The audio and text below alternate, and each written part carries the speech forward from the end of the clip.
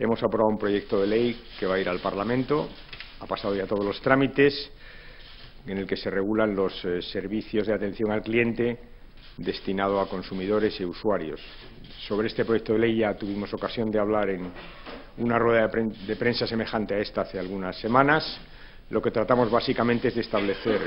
los sistemas de reclamación de las grandes compañías, pienso en gas, electricidad, teléfono, en relación con los clientes. Saben ustedes por qué es frecuente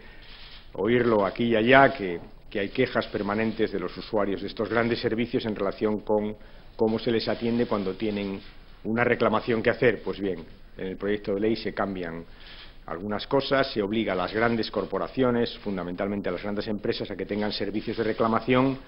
de atención al cliente, que funcionen eh, con, prontitud y que además eh, hagan las cosas como se tienen que hacer en estos casos, es decir, den toda la información rápidamente. Hoy hemos aprobado un decreto importante que se refiere a, a las exigencias a nuestros propios bancos, por tanto, a bancos y cajas, al sistema financiero español, hay, un conjunto de prescripciones que lo que trata básicamente es de reforzar el control sobre este sistema financiero, tratando de impedir que aparezcan problemas como los que estamos sufriendo desde hace dos años. Y luego se establece un sistema de control de remuneraciones para aquellos bancos que reciban dinero público, en este caso por parte del Banco de España. El Banco de España, por lo tanto, va a tener capacidad de regular las cuantías máximas de las retribuciones de la gente que trabaja en altos niveles directivos en los bancos cuando esos bancos reciban dinero público.